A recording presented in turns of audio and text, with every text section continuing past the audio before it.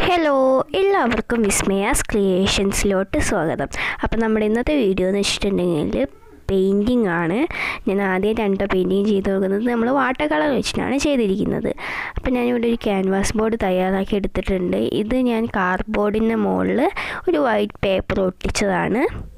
അപ്പോൾ ഇത് ഞാൻ സ്പീഡിലാണ് കേട്ടോ ഒക്കെ കാണിക്കുന്നത്. അപ്പോൾ ഇവിടെ ഒരു ഡാർക്ക് ഗ്രീൻ വെച്ചിട്ടാണ് ആദ്യം കൊടുക്കുന്നത് കേട്ടോ ഡാർക്കിന് ലൈറ്റിലേക്കാണ് ഞാൻ ഉദ്ദേശിക്കുന്നത്. അതിനുശേഷം അതിന്റെ ഒരു ലൈറ്റ് കളർ എടുത്തിട്ട് കൊടുത്തു.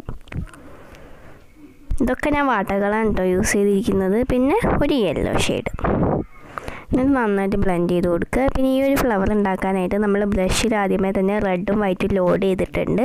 എന്നിട്ട് അവിടെ ഒന്ന് വെച്ച് കൊടുക്കുക ബ്രഷ് ഉള്ളൂ കേട്ടോ ഇനി ഫ്ലാറ്റ് ബ്ലഷ് ഒന്നും വേണമെന്നില്ല. ഞാനിവിടെ റൗണ്ട് ബ്ലഷാണ് യൂസ് ചെയ്തിരിക്കുന്നത്. അപ്പോൾ ഇതുപോലെ മെയിനായിട്ട് ചെയ്ത് കൊടുക്കുക. എന്നിട്ട് ഞാനിവിടെ പെറ്റൽസ് കുറച്ചും കൂടെ വലുതാക്കിയിട്ടാണ് ഞാൻ മൊട്ടായിട്ട് വെച്ച് കൊടുത്തിരിക്കുന്നത് കേട്ടോ അപ്പം ഇനി നമുക്ക് സ്റ്റെമ്മുകൾ വരച്ചു കൊടുക്കാം.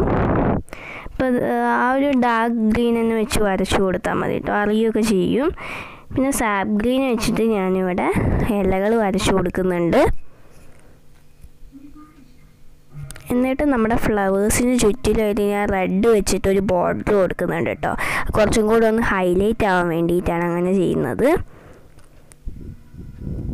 അപ്പോൾ അതുപോലെ മുഴുവനായിട്ട് ചെയ്തെടുക്കുക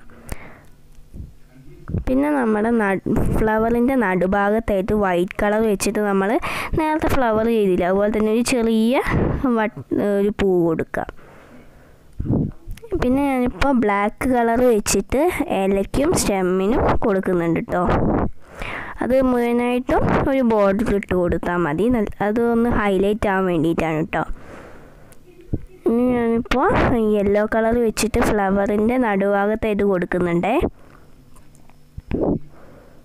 ഇപ്പം എനിക്ക് ഇത്തിരി കൂടി ഒരു ഡാർക്ക് ഷെയ്ഡ് അടിഭാഗത്ത് വേണമെന്ന് അപ്പം ഞാൻ സാപ്പ് ഗ്രീൻ വെച്ചിട്ട് കൊടുത്തു.